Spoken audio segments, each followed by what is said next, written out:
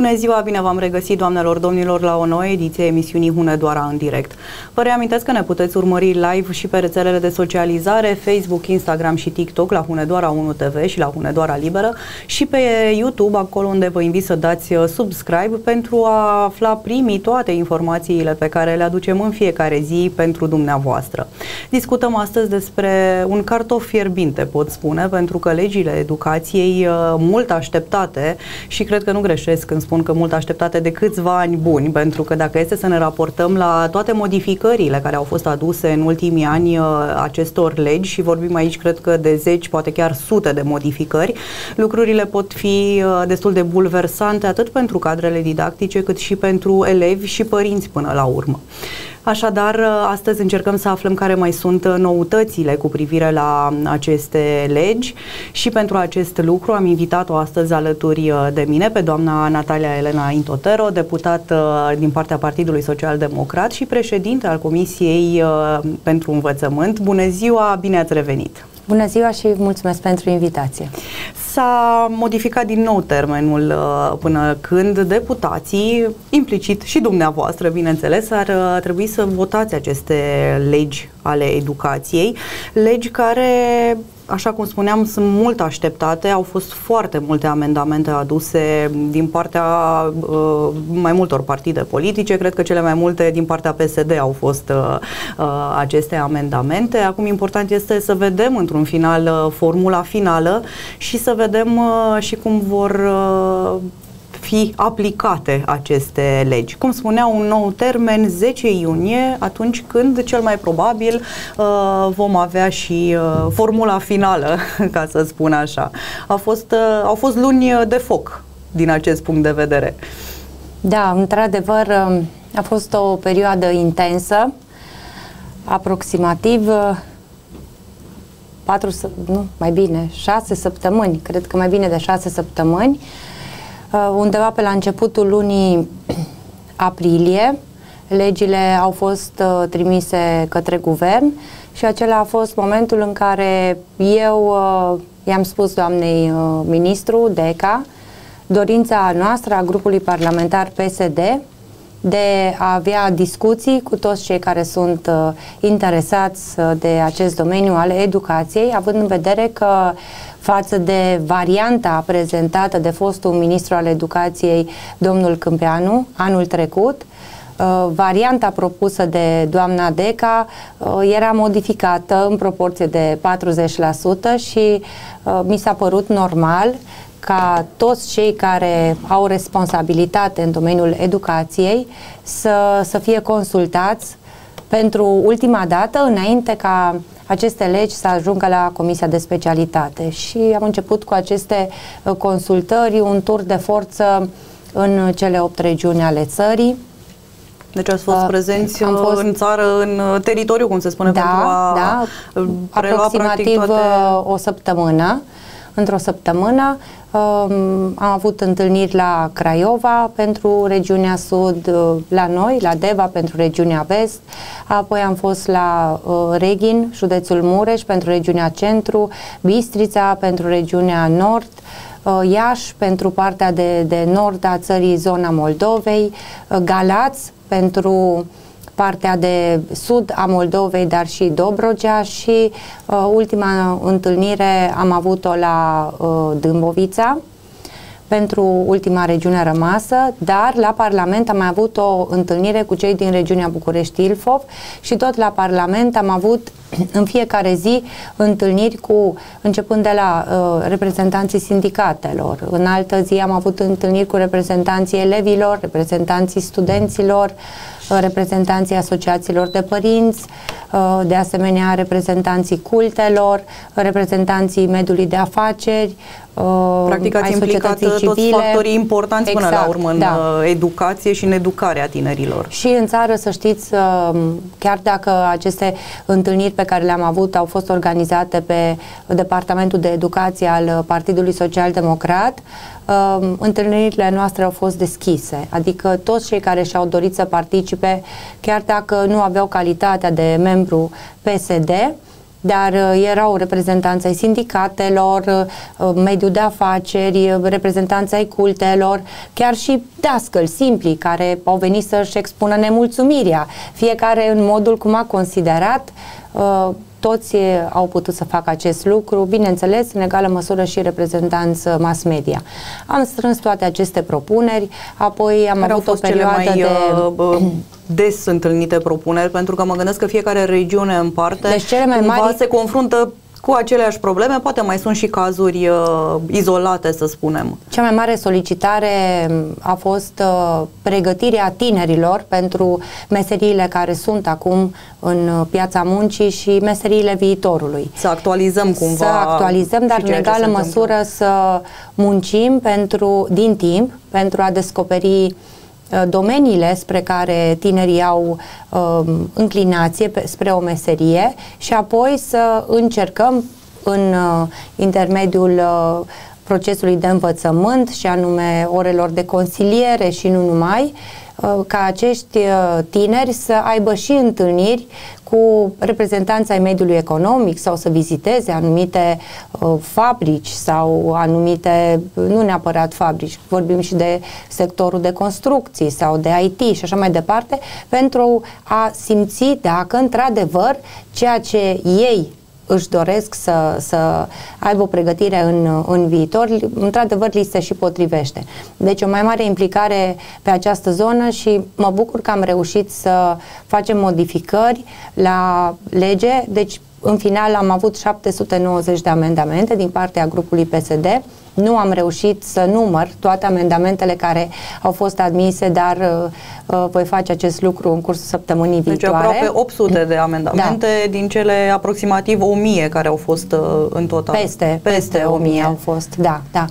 Și deci pe partea de, de învățământ uh, tehnologic, învățământ dual, am uh, reușit în, în legea învățământului preuniversitar să avem o deschidere mai mare către mediul economic, să încurajăm să se implice și până în anul 2030 liceele tehnologice să aibă și uh, obligatoriu învățământ dual. Acum, avem licee tehnologice unde sunt o singură instituție de învățământ, cum este și cazul Petrilei. Categoric acolo nu vom pune obligativitate doar pentru învățământ uh, tehnologic în uh, regim dual, ci vom da posibilitatea și spre alte domenii de activitate. Uh, pentru a nu se există și posibilitatea acolo unde există o singură instituție de învățământ ceilalți tineri să meargă spre alte licee și să scadă numărul copiilor și să se închidă acel liceu. Deci nu, nu vom face acest lucru. Însă până în anul 2030 am propus ca toate aceste licee să fie mai bine dezvoltate și să reușim să pregătim tinerii pentru uh, piața muncii. În primul an, tinerii vor beneficia în continuare de o bursă de 200 de lei din partea statului. Mediul uh, economic pot și ei să acorde o bursă cel puțin de 200 de lei, dacă doresc mai mult e binevenit, iar din al doilea an, având în vedere că permite legislația muncii, ei pot fi angajați cu jumătate de normă la firma uh, pentru care ei se, se pregătesc. Și, uh, și această firmă uh, și practica de care au uh, da. nevoie dacă ei într-adevăr își doresc la un moment dat să urmeze o carieră în acel domeniu și, și cum, să fie plătiți. Și o experiență acumulează, pentru că vedeți de cele mai multe ori uh, tinerilor le este solicitată această experiență în domeniu atunci când aleg să se angajeze într-un anumit domeniu. Experiență pe care, din păcate, mulți nici nu au cum să o aibă din moment ce vin direct de pe băncile școlii. Și iată că acest uh, proiect vine practic să îi ajute 100% pe viitorii angajați. Așa este și deci spuneam că au posibilitatea să lucreze, să fie angajați la aceste firme cu jumătate de normă iar operatorii economici uh, vor beneficia de scutiri de taxe și impozite. Toate acestea vor fi stabilite prin uh, legislația secundară, Ministerul Finanțelor, alături de Ministerul Muncii și, în egală măsură, Ministerul Educației. Va putea fi susținut acest proiect financiar de către statul român?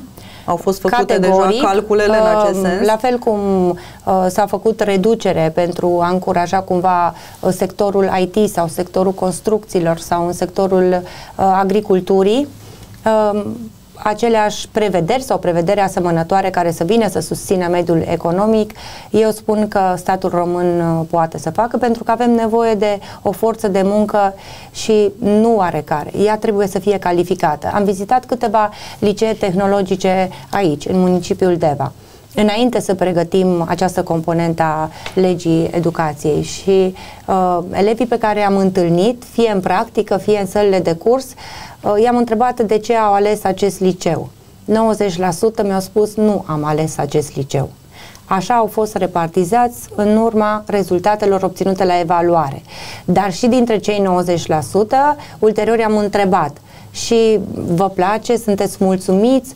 Uh, marea majoritate mi-au spus că sunt mulțumiți, dar nu știu dacă erau 50% care mi-au spus că la sfârșitul uh, uh, celor patru ani de studii vor rămâne în acel domeniu de activitate. De ce?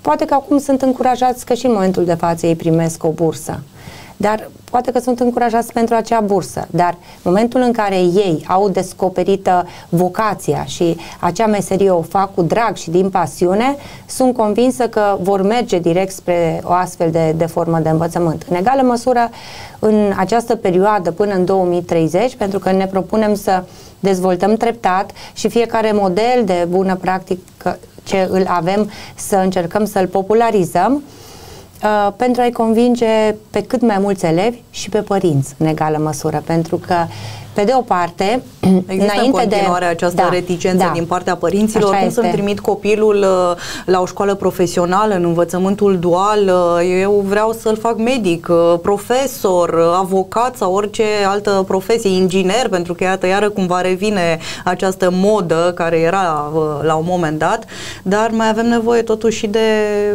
profesioniști în anumite domenii, să, să nu uităm, meseria e brățară de aur în continuare. În, în multe din domeniile unde există necesitate pe piața muncii, uh, există un salariu foarte atractiv. Dar, așa cum a spus și noastră, încă ne confruntăm cu o mentalitate. Și înainte să gândim acest proiect, uh, am făcut și un studiu de opinie. 90% din părinții care au fost chestionați, toți au susținut, da, e foarte bine, trebuie dezvoltat învățământul dual, avem nevoie de meseriaș. Dar tot acei 90% când au fost întrebați uh, ce formă de studii preferați pentru copilul dumneavoastră? Toți au răspuns studii universitare și de aceea uh, am pus un termen până în 2030 pentru că această extindere a învățământului dual nu trebuie să, să fie una violentă, trebuie să se facă treptat și să mergem prin convingere. Avem deja exemple foarte bune și în județul Hunedoara și în țară și rolul nostru este de, de a le populariza. În special, uh, companiile multinaționale cum este Continentalul de la uh, Timișoara sau uh, în uh, Kronstadt, mi se pare, în, uh, în uh, Uh, Brașov, în Sibiu mai avem. Deci ei au început pentru angajați, au făcut învățământ la, pentru grădiniță, uh, să încurajeze pe cei care aleg să muncească la ei să și aibă posibilitatea unde să-și ducă copiii la creșă, la grădiniță, apoi la școală. Și ei deja au venit cu modelul preluat din Germania și îl duc mai departe. Uh, mi-au spus că au deja absolvenți, pentru că la ei deja funcționează acest tip de învățământ de 12 ani și mi-au spus că deja au absolvenți de învățământ dual care sunt antreprenori de succes.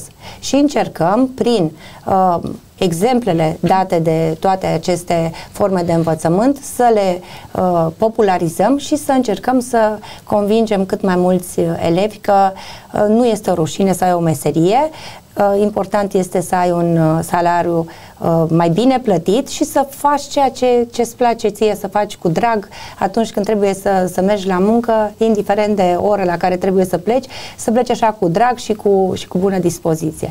Cu deci aceasta a fost o, o solicitare fiecare să mai înveți cumva și cum să îți uh, înființezi propria afacere, că spuneați puțin mai devreme că mulți dintre cei care au uh, implementat deja în urmă cu 12 ani acest sistem au deja au devenit deja antreprenori și cred că contează foarte mult uh, să știe încă de pe băncile școlii cum funcționează de fapt antreprenoriatul și cum pot uh, ajunge să aibă succes în afacerea pe care ei o au și o fac cu plăcere mai ales. Da, acum ați atins un alt subiect uh, pe care noi l-am susținut și am reușit să-l trecem și uh, va fi prevăzut în uh, legea pentru învățământul preuniversitar uh, introducerea unor module de pregătire pentru viață, să le spunem așa. Deci uh, este vorba de acesta al consilierei pentru uh, identificarea vocației și găsirea meseriei cele mai potrivite pentru fiecare individ. Cine Apoi, va consilia? Ați uh, gândit uh, da, cum va funcționa uh, consil- În primul rând, consilierii școlari, adică psihologii, atât din unitățile de învățământ, cât și parteneriat cu cei de la uh, Agenția Județeană pentru Ocuparea Forței de Muncă și cu Direcția pentru Protecția Copilului. Avem suficient de mulți, uh, suficient de mulți psihologi în școlile din România, în școlile din județul nu, Hunedoara, sunt, pentru a face și acest uh, Încă nu avem suficienți, dar și anul acesta a fost un plus de, de consilieri angajați, uh, undeva peste 1800 la nivel național uh, și există această uh, angajare, să spun, din partea statului român, ca în fiecare an numărul acestor consilieri școlari să, să fie în creștere, astfel încât să ajungem și noi la nivelul unor țări care deja sunt dezvoltate din acest punct de vedere din Europa și spun aici Portugalia și pe această cale vreau să popularizez cumva toți acei tineri care au dorința de a studia psihologia să știe că în viitor uh, cei care finalizează o astfel de instituție de învățământ vor avea sigur aici în țară un loc de muncă. Deci vom avea nevoie, cred eu, de încă aproximativ 30.000 de psihologi. Deci angajând treptat luând odată ce avem și mergând pe, pe viitor. În egală măsură, vom avea nevoie și de un număr foarte mare de medici, pentru că am trecut tot în această lege obligativitatea ca până în anul 2027 toate unitățile de învățământ special, acele unități de învățământ care se află în subordinea consiliilor județene, unde sunt copii cu cerințe educative speciale, să aibă cabinet de medicină școlară, mai sunt câteva care nu au în fiecare unitate și cabinet stomatologic. Uh, astfel încât uh, va fi nevoie și de medici mai, mai mulți, să spun. Iar până în să 2030... că veți și reuși să-i găsiți pe acești medici, păi... pentru că dacă este să ne raportăm la ce se întâmplă și în județul Hunedoara și cu medicii de familie, avem în continuare foarte multe comune în care nu mai există medici de familie, nu mai sunt medici uh, nici în școli, cei drept, că nu mai sunt toate școlile cu Aici această... este o altă problemă pentru școli. Am avut o întâlnire cu două distinse doamne doctor care lucrează în câteva unități de învățământ de aici din județ și există o diferență de salarizare medicii școlari sunt uh, puși pe o altă grilă de salarizare decât uh, grila normală a cadrelor uh, medicale. Și am avut o discuție cu domnul uh, ministru Budăi, se lucrează la noua lege a salarizării, este jalon pe PNRR și undeva în toamnă uh, l-am rugat să treacă și uh, această categorie a medicilor școlari pe aceeași grilă de salarizare. Deci este o diferență foarte mare de salarizare între medici, un medic care lucrează într-un spital uh, și un medic care lucrează într-un cabinet de medicină școlară sau într-o policlinică, la fel. Un alt aspect care l-am trecut în lege pentru a încuraja pe medici să vină și să fie uh, medici de medicină școlară, am spus cei care își vor face și masterul didactic, adică modulul de pregătire psihopedagogică și cu care practică de predare la clasă, situație. să aibă posibilitatea și să intre și să predea modulele care țin de prevenție. Prevenție pe, pentru alimentație sănătoasă, suntem pe locul 2 în Uniunea Europeană ca rata obezității infantile.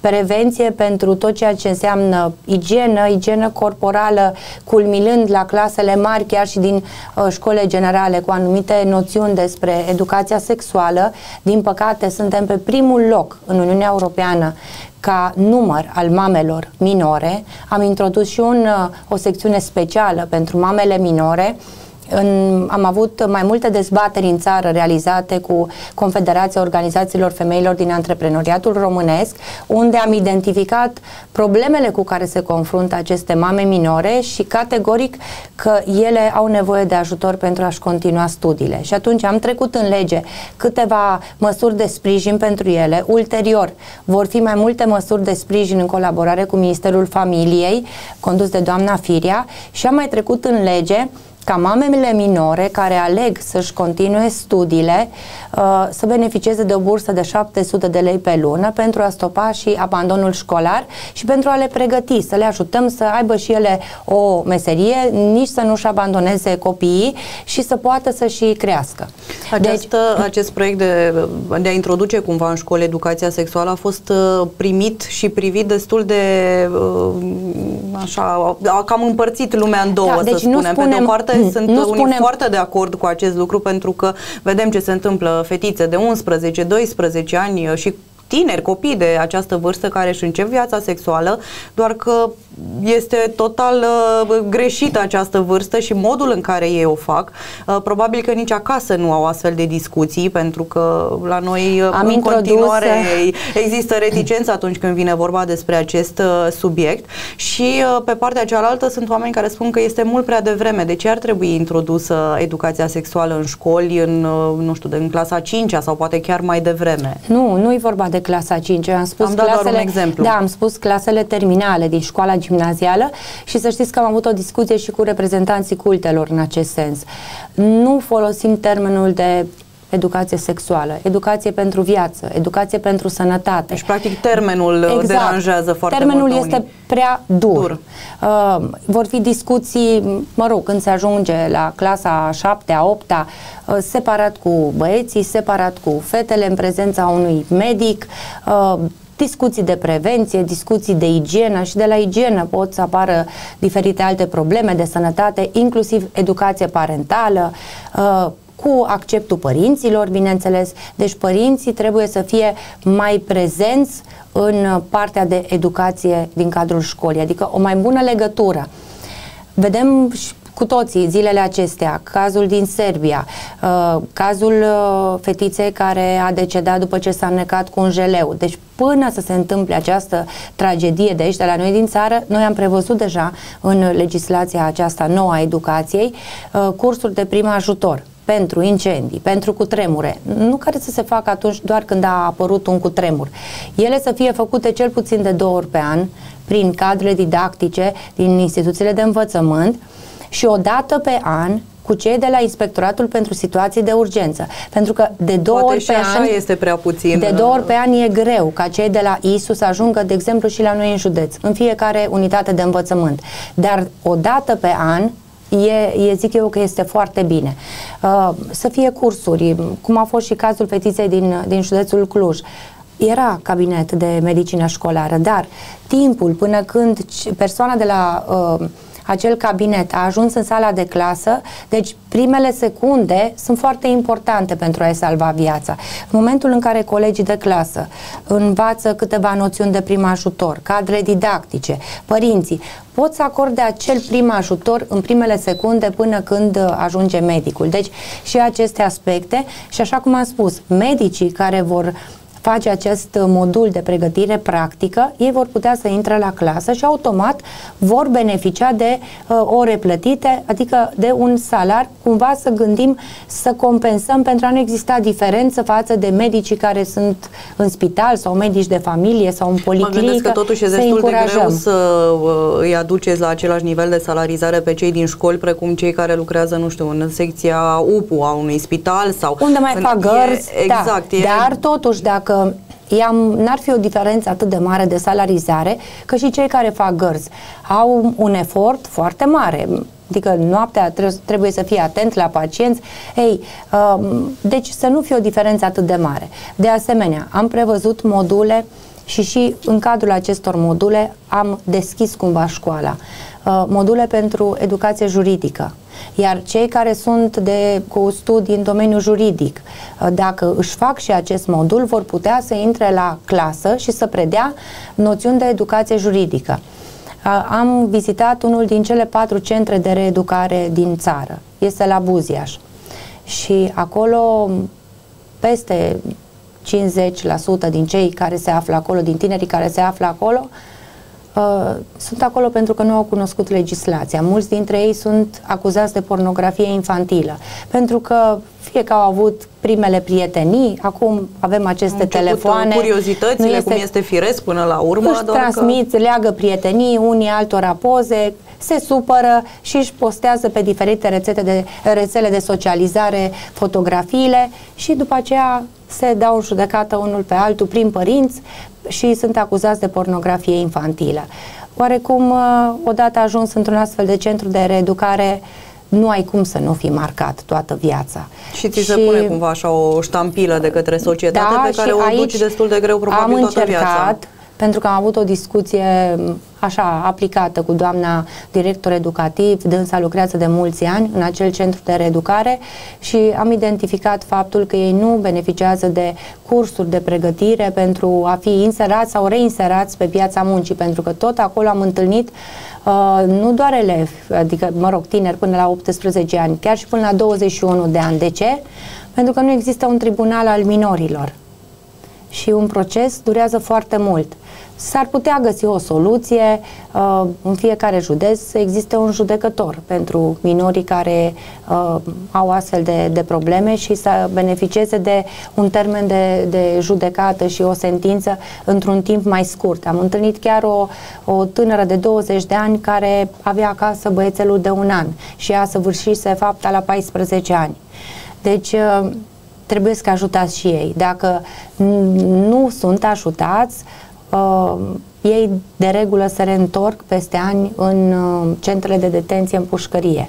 Și din acest punct de vedere am prevăzut și pentru ei măsuri, aceste cursuri de inserție, reinserție pe piața muncii, uh, obligatoriu în termen de șase luni, am spus noi după ce aceste legi intre în vigoare, uh, un, o, un plan de acțiuni uh, realizat de Ministerul Justiției, Ministerul Muncii, Ministerul Familiei și Ministerul Educației cu măsuri concrete, cu pași concreți, inclusiv pentru a insera apoi pe, pe piața muncii, fără să fie priviți cumva așa um, ca și cei care reprezintă un pericol, pentru că odată ce ies dintr-un astfel de centru de, de reeducare, să știți că foarte marea majoritate, deci peste 96% își doresc să, să nu mai facă ceea ce au făcut, dar pentru aceasta trebuie să-i ajute și statul. Uh, de da, asemenea, și probabil că și cei de acasă vor spune, bun, ai făcut o faptă, trebuie să plătești, dar înainte de asta cred că trebuie să fie informați. Și atunci cred că lucrurile ar fi puțin altfel, adică Categoric. Uh, cunoști ce ți se poate întâmpla, știi care ar fi repercusiunile uh, în cazul în care ajungi să faci, să comiți anumite fapte și mai apoi poate putem arăta cu degetul înspre ei, dar că ei trebuie ajutați din start și un ajutor real de la specialiști, nu doar un ajutor pe hârtie, cum uh, se mai întâmplă, pentru că trebuie să recunoaștem tocmai din cauza faptului că nu avem, poate în toate școlile, acești specialiști de care avem nevoie și am fi avut nevoie de atât de mulți ani, uh, lucrurile au fost așa mai uh, superficial realizate. Și tocmai de aceea, dacă într-adevăr lucrurile vor putea fi aplicate exact așa cum ne-ați prezentat dumneavoastră puțin mai devreme, eu zic că mai avem o speranță totuși. Educația financiară, ați amintit-o dumneavoastră, de asemenea este o altă componentă a unui modul care să fie uh, predat în instituțiile de învățământ și aici dăm voie celor care au studii de specialitate sau poate chiar și oamenilor de afaceri, de asemenea și aceștia trebuie să aibă acest modul de pregătire psihopedagogică, să intre la clasă și să predea anumite cunoștințe în funcție de vârstă de vârsta copiilor, adaptate cunoștințele copiilor. adaptate. De aceea e important ca să aibă acest modul uh, psihopedagogic. Uh, o componentă pe care am insistat a fost aceea de reducerea abandonului școlar.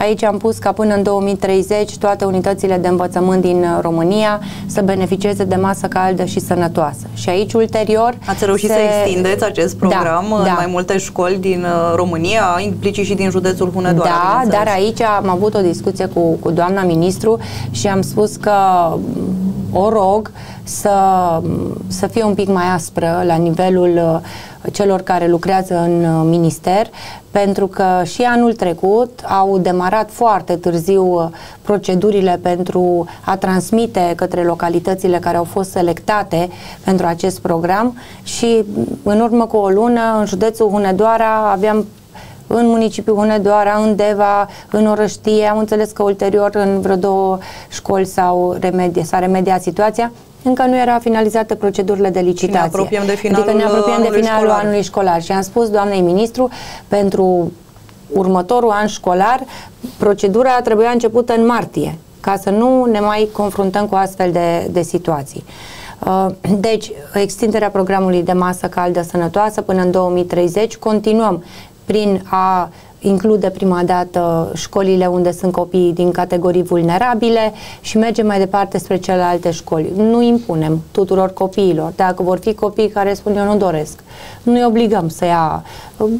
Asta se stabilesc la nivelul fiecare unități de învățământ printr-un regulament de ordine acel interioară. proiect funcționează da. în școlile respective. Transportul elevilor. Cu transportul elevilor aici, după lungi dezbateri, am ajuns la o formulă, la un moment dat să știți că a funcționat și a funcționat chiar bine, dar ca să funcționeze, să fie spre uh, o, o soluție perfectă, am făcut mici modificări și anume uh, banii pentru copiii care fac naveta uh, dintr-o comună spre un oraș unde au uh, instituția de învățământ uh, Uh, nu vor mai trebui ca să vină ei cu bani din buzunar să-și achiziționeze uh, biletul, deci se merge încă următorul an școlar pe fostul sistem cu vouchere, cum aveau acum ultima dată, până se implementează acest nou sistem. Deci banii vin direct de la bugetul statului către inspectorate. Unitățile de învățământ transmit către inspectorate lista cu elevii care sunt navetiști. Uh, Elevii au beneficiază de o călătorie în fiecare zi dus întors pe, program, pe timpul programului școlar, iar firmele care participă la licitație obligatoriu trebuie să aibă un aviz de la uh, ANRSC, așa cum sunt și celelalte uh, domenii de activitate, de utilitate publică, partea de apă, de canalizare, de partea de gunoi menajer. Și în aceste uh, condiții primăriile vor mai trebui să uh, găsească soluții pentru a plăti uh, naveta copiilor, pentru că știu că sunt unele situații în care sunt alocate fonduri pentru transportul deci, elevilor. Uh, acum am vorbit de uh, transportul intrajudețean. Cei care fac naveta, dau un exemplu, exemplu, de la Certej la Deva, da? Și aici au fost probleme și în anii trecuți și uh, au găsit la variante legale din partea Consiliului Județean când mulți copii nu au mai avut cum să, să ajungă la școală. Ei, în momentul în care banii vin transmiși de la bugetul de stat către inspectorate, inspectoratele fac plata către operatori, copilul beneficiază doar de transport. Mai departe, prin legislație secundară, se va stabili clar cum se va face verificarea de către operator ca acel copil să călătorească o singură dată pe zi, nu de mai multe ori, uh, și să fie pentru programul școlar. Și în cazul în care el nu frecventează cursurile, că nu poate și statul să, să investească bani uh, în ceva ce, ce nu... În cazul acelor copii da. care uh, chiulesc de la ore să se extind, să se găsească acea formă, cumva să existe o sancțiune pentru copil, pentru părinte, nu neapărat de la început o sancțiune sancțiune materială, uh, ci prin prima fază, prin uh, chemarea părintelui, prin discuții cu el, prin observații, adică să iau sancțiuni treptate. Și aici, apropo de sancțiuni, uh, era prevăzut în draftul de lege care a fost trimis de la guvern sancțiuni doar pentru cadrele didactice. În discuțiile pe care le-am avut cu reprezentanții Consiliului Aso- Elevilor, cu asociațiile elevilor, cu federațiile părinților, am trecut sancțiuni și pentru elevi, pentru că așa e normal. Să avem drepturi, să avem uh, și obligații și atunci când nu respectăm drepturile și încălcăm și aceste obligații, să fim cumva și trași la răspundere. Și din acest punct de vedere, uh, telefoanele mobile nu vor mai putea fi folosite în timpul orelor, uh, așa pentru a ne, cum era cum se întâmpla deja în ultima perioadă, când ei au înțeles cumva a merge la școală un fel de joacă. Se filmau, uh, își transmiteau filmulețele, nu erau atenți la ore și îi deranjau chiar și pe elevii care doreau să, să învețe și să facă performanță. Dar vedeți că și acest lucru nu se întâmplă la toate orele, la toate orele în care predeau anumiți uh, profesori. Și aici uh, chiar discutam uh, zilele trecute cu domnul director al liceului, al Colegiului Național de Cebal și îmi spunea cât de mult contează și conduita profesorului Categoric. la ore pentru a impune respect până la urmă și nu doar elevul este neapărat de vină pentru ceea ce se întâmplă la oră sau părintele. Categoric, dar uh, și am să spun imediat și despre uh, conduita cadrului didactic, dar până atunci aș mai vrea să fac puțin referire la Vă ceea ce am spus, pentru că au fost și voci care au spus că nu este normal să iei telefonul copilului.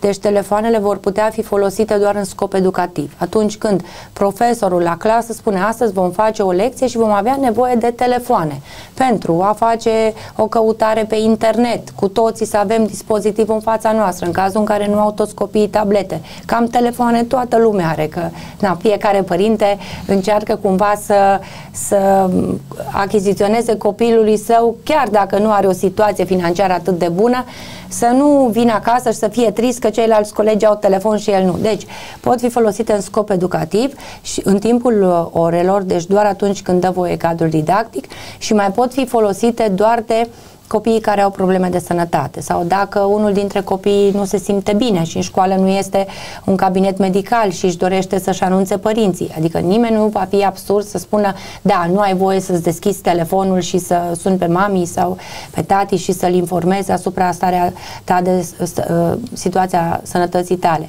Sau există copii cu probleme de sănătate, um, cei care au diabet da, și care au anumite cronice, dispozitive care... Uh, montate pe braț, acele acele dispozitive sunt în contact atât cu telefonul copilului cât și cu telefoanele părinților și le măsoară în permanență glicemia.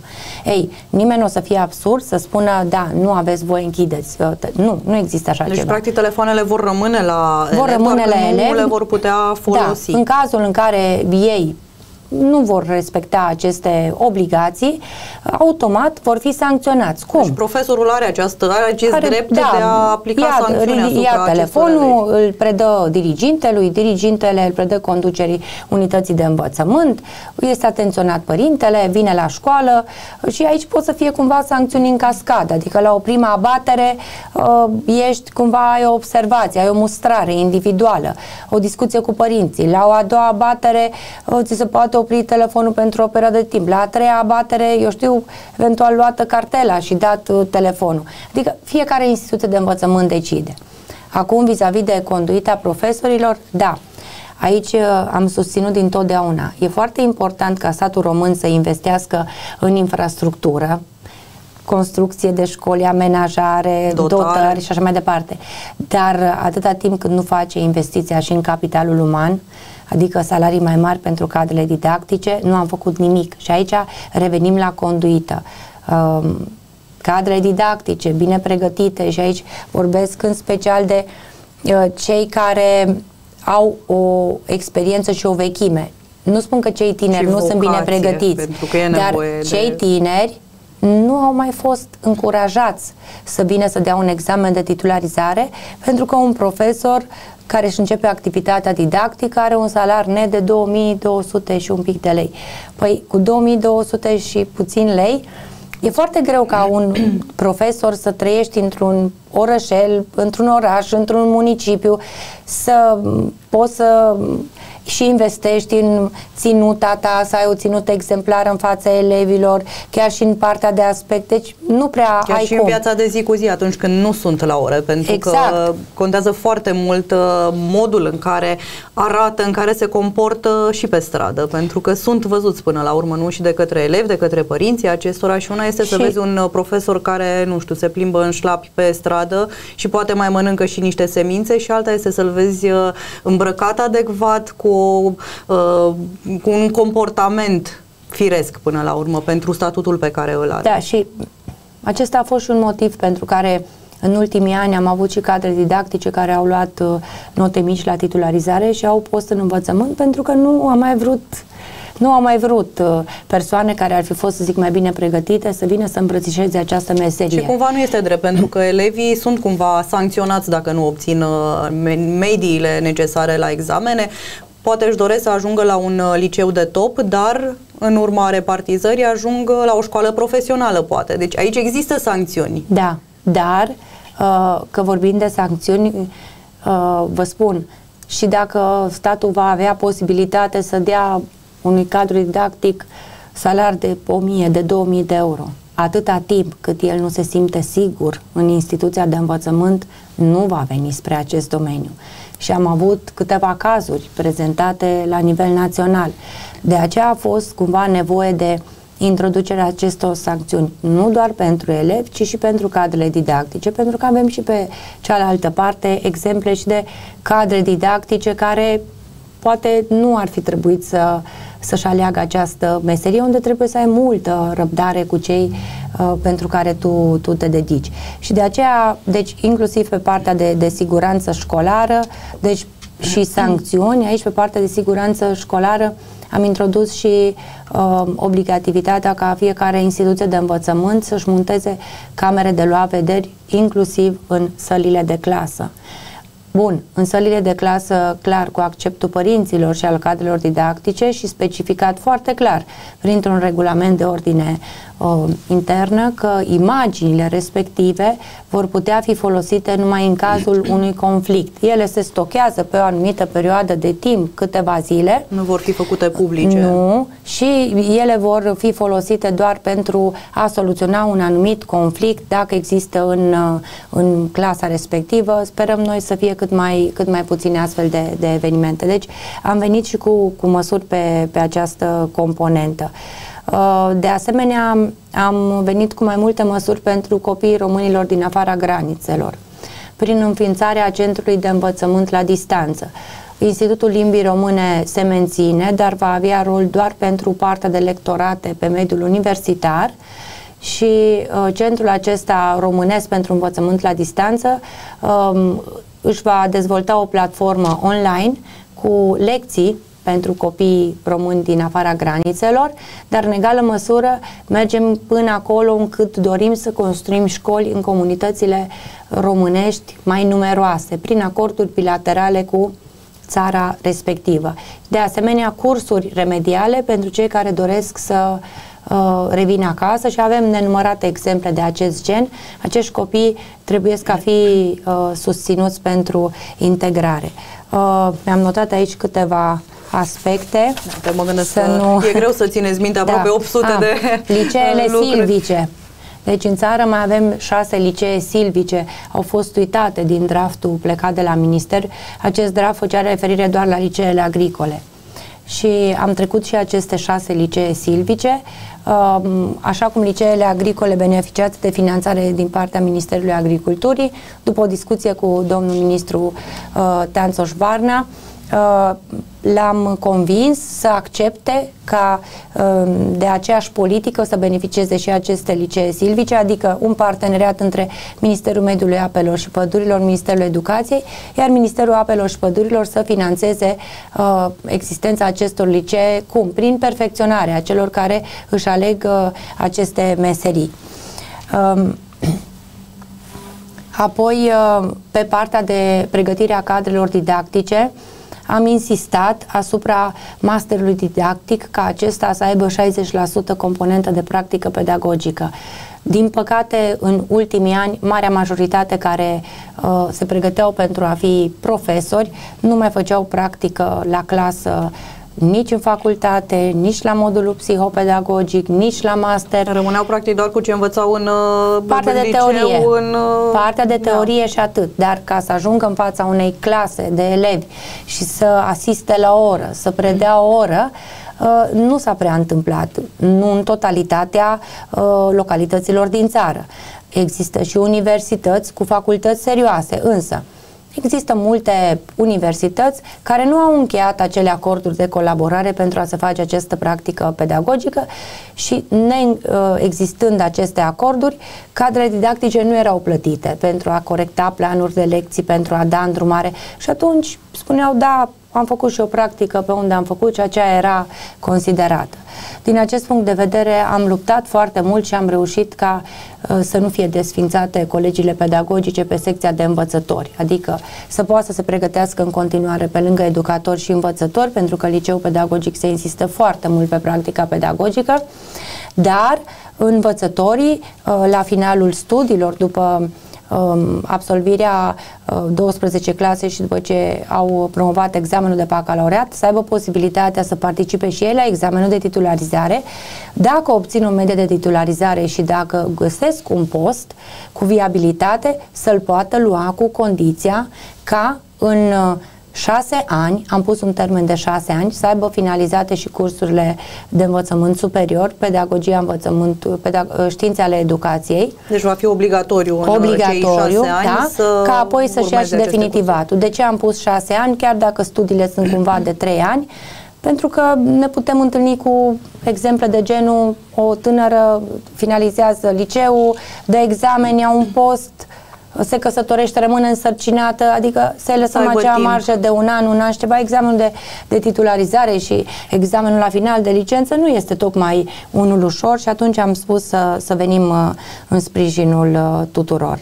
În ceea ce privește sancționarea violenței în școli, pentru că avem uh, parte și de dascăli care sunt abuzați fizic ori verbal, dar și elevi în egală măsură care sunt uh, abuzați fie de către profesori, fie sunt uh, conflicte între elevi. În, uh, din acest punct de vedere ați reușit da, să am, uh, am pus un, aduceți o, Am pus o secțiune specială și uh, pe, pe această componentă și pentru cadre didactice se, se poate merge până la desfacerea contractului de muncă.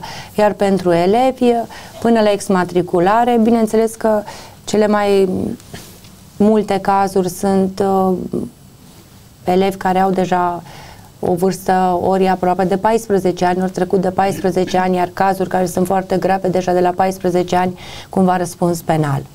Uh, o, altă, o altă bucurie a mea personală a fost faptul că am reușit să convingem uh, colegii, au fost cumva convinși, reprezentanții ministerului au fost mai greu de convinși, să acceptăm amendamentele venite din partea cultelor. Deci a fost pentru prima dată, am tot spus și noi acolo în cadrul discuțiilor cu colegii, dacă nu a reușit până acum nimeni să unească. Uite, o astfel de lege a reușit să unească cultele din România.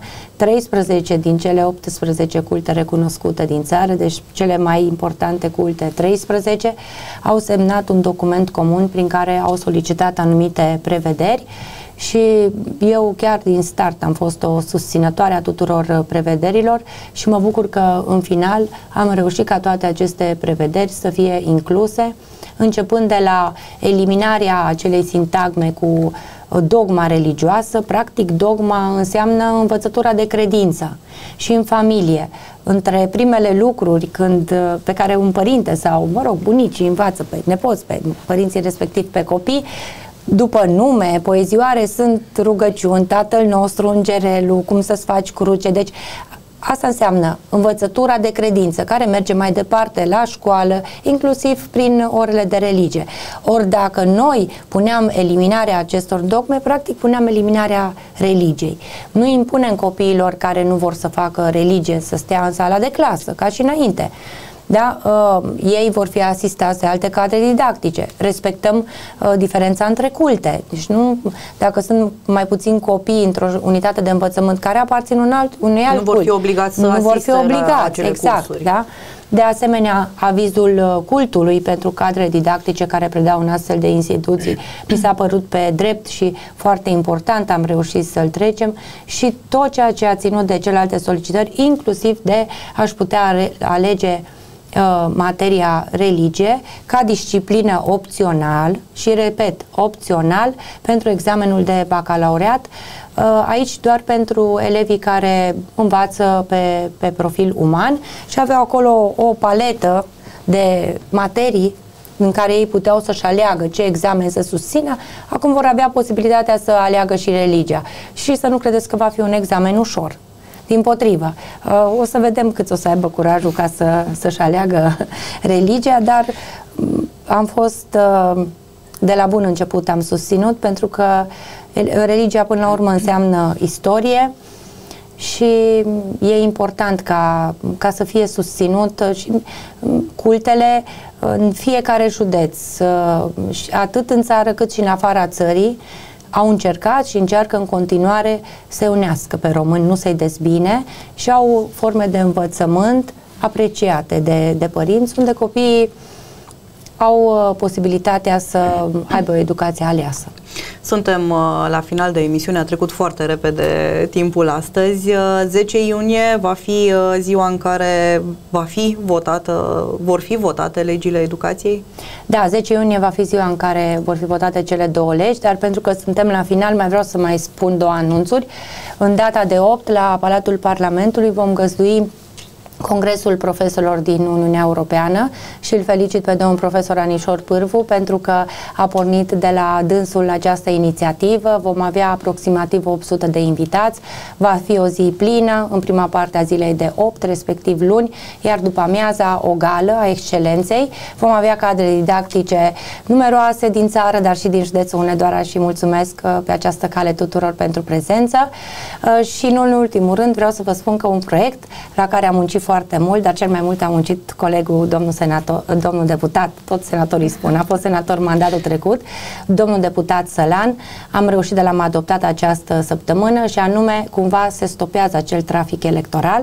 Știți că am văzut cu toții acele exemple în București, în sectorul 3, 10.000 de locuitori într-o locuință, în Vaslui 4.000 și așa mai departe. Nu.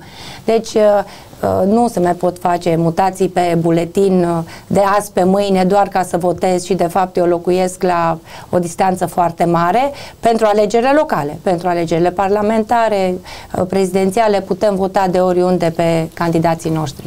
Și vreau să îi mulțumesc colegului Sălan pentru că a dus mai departe și noi am fost acolo lângă el cât am putut.